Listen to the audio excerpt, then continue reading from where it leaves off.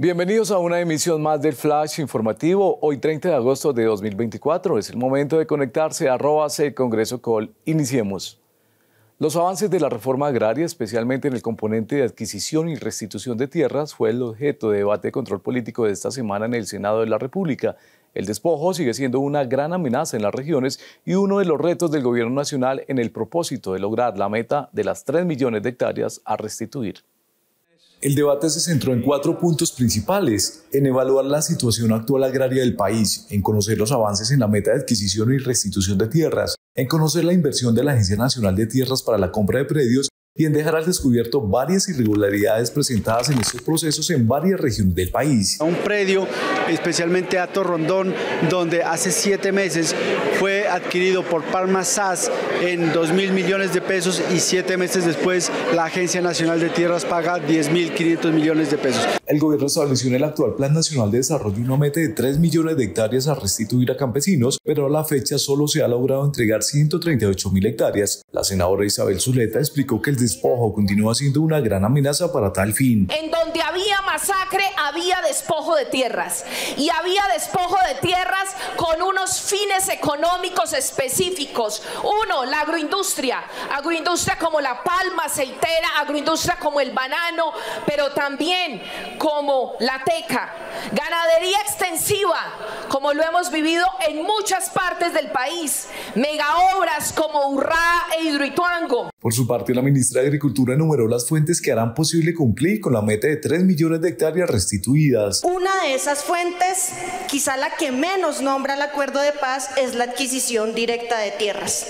Otras de sus fuentes son los bienes extintos del Frisco administrados por la SAE, los bienes que se donan, los bienes que ya estaban en el Fondo Nacional Agrario que mutaron con el decreto ley 902 a ser Fondo Nacional de Tierras, así como los bienes que repercuten o que revierten al dominio de la nación vía procesos agrarios. Los baldíos de la nación son para campesinos sin tierra. El senador Richard Juelantala, uno de los citantes al debate, cuestionó el bajo avance en la restitución de tierras y la elevada inversión en la compra de tierras. También mostró su inconformismo por el ocultamiento de información por parte de las entidades del gobierno.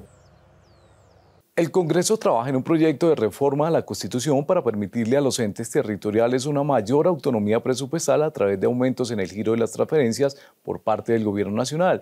La iniciativa ya superó cuatro de ocho debates.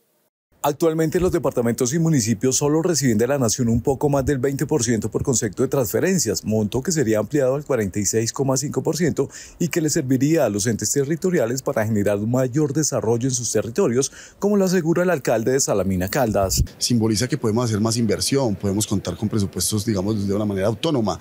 También sabemos que nosotros cofinanciamos con el departamento en, muchos, en varios rubros presupuestales y varios proyectos importantes de alto impacto en los municipios. El proyecto de reforma reforma a la Constitución liderado por el senador Guido Echeverry pretende dar una mayor autonomía territorial, acercar el Estado a la comunidad, generar desarrollo y minimizar la pobreza en la Colombia marginal con una visión diferenciada de los territorios.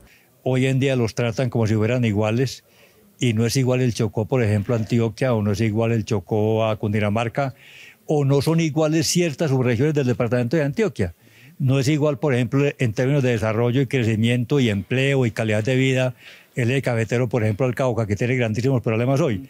Entonces, aquí lo que trata es de establecer unas políticas fiscales que les permitan a los departamentos tener herramientas mucho más idóneas para jalonar su propio desarrollo. Sectores gobiernistas se mostraron de acuerdo con la iniciativa por considerarla que es un respiro para la periferia colombiana y porque de paso combate el excesivo centralismo. La centralización nos ha ha hecho mucho daño. Por ejemplo, la centralización de este país permitió que perdiéramos el canal de Panamá, la centralización de este país permitió que hubiera una masacre en las bananeras, la centralización de este país hace que los elementos de control y de poder solamente lo establezcan en los sectores eh, centrales de, la nación, eh, quitándole la oportunidad al desarrollo territorial. Los criterios de distribución de recursos serían establecidos más adelante en una ley reglamentaria, pero desde Antioquia plantearon una propuesta para reequilibrar fiscalmente a las regiones. Lo que estamos diciendo nosotros es que los departamentos se queden con el impuesto de renta y patrimonio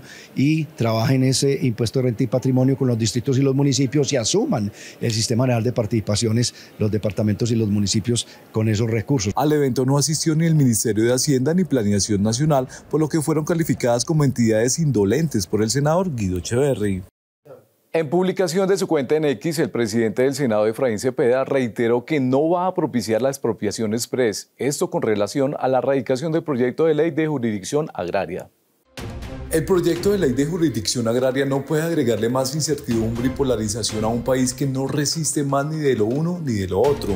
Quiero que la opinión pública tenga claro que no vamos a propiciar expropiaciones express ni improvisación legal en la propiedad agraria. El campo necesita certezas para que atraiga inversión. No es el momento de inquietar la seguridad jurídica agraria. Con eso no se juega ni se experimenta. El campo necesita certezas y autoridades imparciales que decidan las controversias sin sesgos ideológicos. Para eso existen los jueces. La productividad agraria necesita tranquilidad jurídica. Después de socializar el proyecto de ley denominado Cero Tolerancia con el primer consumo, junto a jóvenes universitarios de carreras de Derecho y Comunicación Social, la senadora Soledad Tamayo radicó la iniciativa que pretende ampliar coberturas de atención para evitar que niñas, niños y adolescentes caigan en las garras de la drogadicción. Lo que tenemos que defender y que tenemos que prevenir es que nuestros niños jamás inicien por el primer consumo. Se trata de una iniciativa que ha sido ampliamente debatida en el legislativo y se ha convertido en símbolo de lucha de los congresistas para evitar que niños, niñas y adolescentes se dejen tentar por el consumo de algún tipo de sustancia psicoactiva. Pensamos que ese es el mayor riesgo de que luego se queden consumiendo no solamente la marihuana, sino que hay sustancias eh, sintéticas, hay otros problemas que hoy nos, es un dolor de cabeza, no solamente para el consumidor, sino para los padres. El primer consumo marca el comienzo de una posible adicción, por ello se trabaja para fortalecer y ampliar coberturas de atención que permitan cuidar la salud física y mental de nuestros niños, además de espacios de recreación donde se ven más vulnerables. Por ejemplo, utilizar el tiempo libre de nuestros niños en actividades culturales, deportivas, artísticas. Por ejemplo, eh, cuidar más aquellos espacios donde los niños transitan, que nuestros parques sean para la recreación, para el deporte y no para el consumo de sustancias psicoactivas. Espacio de diálogo que fue aprovechado por jóvenes universitarios para socializar el proyecto, escuchar aportes y opiniones que permitan fortalecer su articulado durante su trámite por el Congreso. Se pueden buscar otras alternativas de prevención como es el reconocimiento jurídico de determinados espacios públicos o privados en donde los consumidores pudieran ir de manera informada y libre a realizar su acto de consumo y no realizarlo especialmente en los espacios públicos en donde concurren los niños. Una vez, de hecho, estaba en la calle esperando un servicio público cuando había unos niños a este lado y hacia ese lado había una persona consumiendo marihuana. Llegó la policía, él se asustó y salió corriendo pasando la calle. Claro, ¿por qué? Porque había niños. Y luego, acto seguido, una persona sacó su cigarrillo, tabaco y empezó a fumar al frente de los niños. Por supuesto que la policía pues no, no le dijo nada. Entonces, realmente, ¿qué? O sea, porque claro, las dos cosas le pueden hacer daño a los niños, pero ¿por qué unas sí y otras no? Iniciativa que también le apunta a la disminución del consumo de sustancias alucinógenas en Colombia, que representa por lo menos unas 530 mil personas adictas a drogas procedentes de plantas o sintéticas. A tercer debate en Comisión Primera de Cámara de Representantes pasó el proyecto de ley que busca combatir la explotación sexual infantil, segunda actividad más lucrativa en Colombia después del narcotráfico. La iniciativa también pretende endurecer las penas para quienes cometan ese tipo de conductas delictivas. Los avances del proyecto es en respuesta al desalentador panorama en el país, tras el incremento de casos y diferentes tipos de explotación sexual y comercial de niños, niñas y adolescentes un doloroso delito que se ha convertido en la segunda actividad delictiva más lucrativa después del narcotráfico.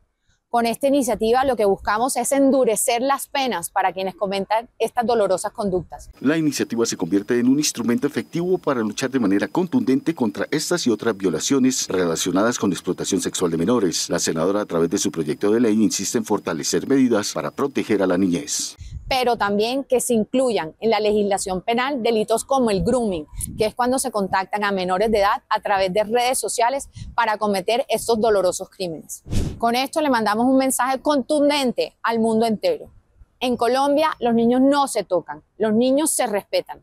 En un reciente informe presentado por la Fiscalía en Colombia desde el 2020, se han abierto más de 9.500 procesos relacionados con este tipo de delitos, donde Cartagena y Medellín registra el mayor número de casos. Y hasta aquí la información. No olviden seguirnos en nuestras redes sociales. Estamos como arroba Congreso Col. También en nuestro canal en WhatsApp, Canal Congreso Colombia. Además puede consultar nuestra aplicación Mi Senado. Hasta pronto.